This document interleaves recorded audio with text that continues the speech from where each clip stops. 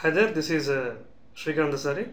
So in this lesson, we are going to introduce ourselves to the concept of strings in C. Okay, so let me launch the IDE here. So already I have created a project, uh, string one, string one. So it contains a string one.c file here. Okay, so a string is defined as a group of characters. Okay, the basic definition of string goes like this: string is a group of characters. So you can say group or array of characters, whatever according to your uh, convenience. Since we have studied uh, some, uh, some yeah, since we have studied the concept of array, so array is nothing but a collection of similar type of data. So since a string is a group of characters, we can also name it as array of characters also, character array. So there are different synonyms. Okay, so based on the convenience of the programmer, he can use anything, any sort of thing. Okay, so the basic uh, definition or so wh- why do we need a string? Okay, so for example, uh, when you're writing a program in C or in any, uh, any other language, okay, so you need to take uh, some sort of data, uh, like for example, you are building a program for personal data collection. Okay, so you need some data like your name, your job description, job title, or the name of the college as if you're a student. Okay, so in that cases you need a group of characters okay? So no one's name is going to be a single character okay? So we need a special kind of data type for that okay? So the basic definition of uh, uh, can define a string like this. String. So let's, let's say the variable name as name here. So since we are uh, saying a string is an array of characters or group of characters so the immediately when you're saying a group or array so you need to define using a subscript okay so string definition goes like this. Subscript with a range here okay? So this is the definition or declaration of a string here. So you can assign uh, since we are saying a name here so let us assign a value. I am writing my name here okay? So this is the basic declaration of a string uh, which goes like this okay? Since we are calling this group of characters or array of characters you are just taking a character and a character array here. Nothing but string is just nothing but a character array okay so you can just simply uh, take a character array. Uh, when you're saying about an array talking about an array you just have a subscript and a maximum range here okay? The number of characters okay? So in the same way so you can have uh, different types of uh, strings okay? Different types of strings depending upon the requirement of the programmer okay? So name similarly you can have a job description. Let's take it as again the range is 20 here. Let us say as Professor. Okay similarly you can have uh, let's say email. So all the basic stuff to to take the to take this kind of data. So there is nothing another alternative except a string okay. So email id so name of the college or university. So you can take something like this. Dr lb college of engineering. So since this is a huge huge one so let us take it as 50 here okay? Since there is no bound checking in c let's make it a bigger one. So so just we have defined uh, or declared four strings here. Uh, name first one is going to be name and second one we, we named it as job email and college and etc okay so in order to print uh, this data uh, so we need to use a printf statement here. Okay. The name is equal to so percentage s is the format specifier okay? So until now we have seen uh, the various format specifiers percentage c percentage d percentage u for different types of uh, data types. So the string holds the uh, format specifier as percentage s. So the compiler recognizes that the user is going to so output a string. Okay so just if you save and run the program here we just get the uh, name displayed here. So let us make it a little big. Okay so name is equal to Srikanth so in the same way uh, you can print the other uh, data also. Okay I'm just copying it and just pasting it four times here since we have four different types of data okay so let's change the message correspondingly. Chop percentage c comma chop in the same way email etc etc so, okay so in the same way college so all these printf statements so holds some sort of uh, messages print statement so that the user can quickly understand what he is displaying on the screen okay? So you have all the four different strings printed on the output screen here so okay? So in this way you can take the basic uh, definition of a string okay? So there is another way of uh, outputting the string uh, since we are calling the string as an array of characters here okay?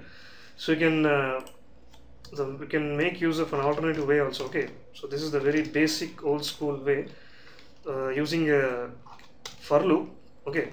So using a for loop we can uh, print this print the string as well okay? So int let us take a variable here int i okay?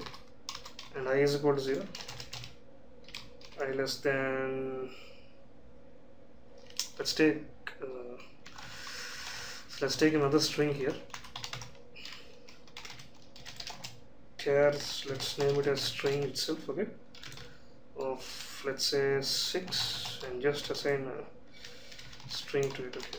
I have just taken another string variable here and just assign the value string to it uh, string to it okay? So in order to print uh, using uh, this string using for loop so let's take a for loop here okay? For i is equal to 0 i less than 6 and i plus plus. So let us take a printf statement.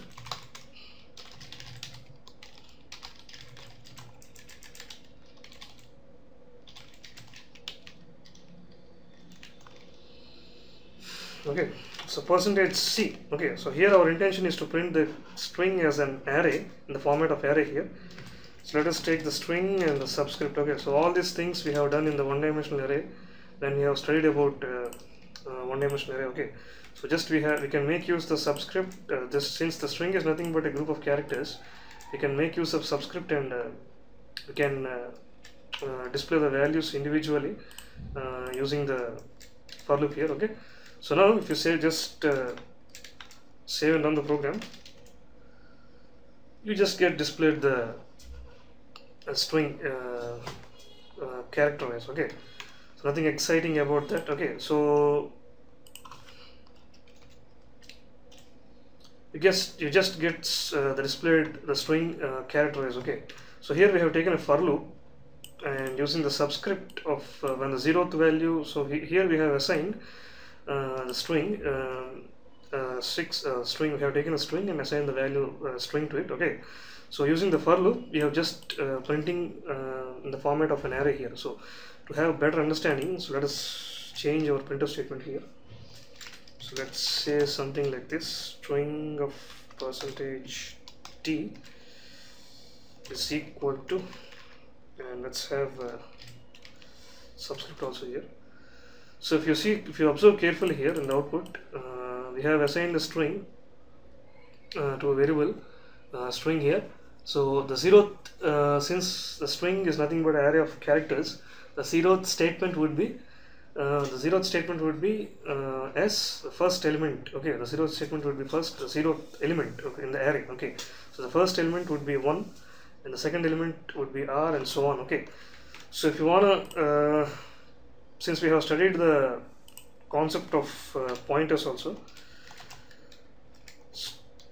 can also make use of that here stored at address okay percentage u can say something like this. Contains so all these messages are for better understanding purpose okay. So contains the value percentage c you can say something like this i and view here okay. So now if you just save and run the program.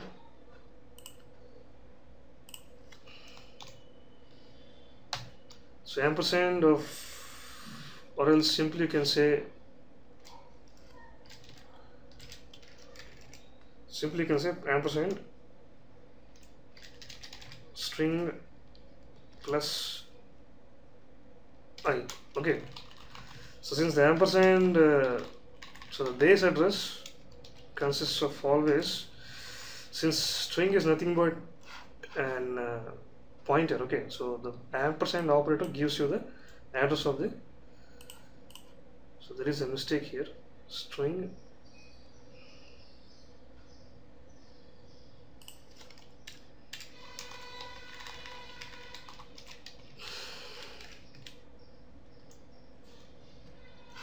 okay so ampersand is not necessary there okay.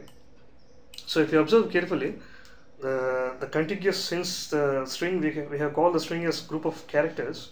So group of characters or array of characters uh, since the values are stored contiguous memory locations okay.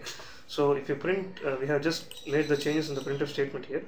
We have uh, printed the address also so if you observe the addresses here so it, it was gradually increased by one okay. So character occupies one byte in memory so for each instance only the value 1 gets incremented to the value of address. So once for the first instance the value of uh, the zero element of the string is stored at the address so and so and uh, which contains the value of s okay? So in the next instance the values gets the address gets incremented by 1 okay? Since the string is or the character occupies only one byte in memory. So in the next instance it's again gets incremented by 1 and gets the value of 18 here okay so in that way you can store the uh, strings or you can print the strings using the basic array okay? So one last thing. So whenever you are uh, uh, storing a string um, so a null character gets uh, added at the end okay? So you need not explicitly specify a null character like this or else so if you are uh, so what happens underneath this so let us take another example here. So char string let's say string 2 again let's take the same one here. So the internally uh, as we have seen in the output the string uh, stores like this okay? S and t and r i n and c okay? So followed by a null character okay? So even though you need not uh, specify this explicitly. The compiler will automatically add uh, so add it for you okay? So now if you just uh, if you just print the uh, that string 2 here.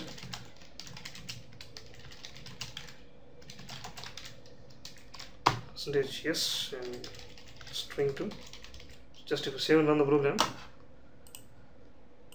So we have got an error here. String 2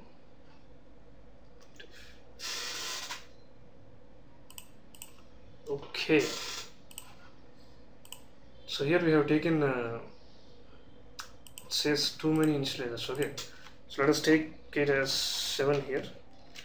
So save and run the program. So just if you observe okay. So even though uh, so the main purpose of taking like this is even though you don't explicitly add a string character or null character the compiler will automatically uh, add the null character. Uh, you have to keep in mind that the termination of a, a string goes uh, the termination of the string goes with the null character okay? So that is most important thing when you are studying about uh,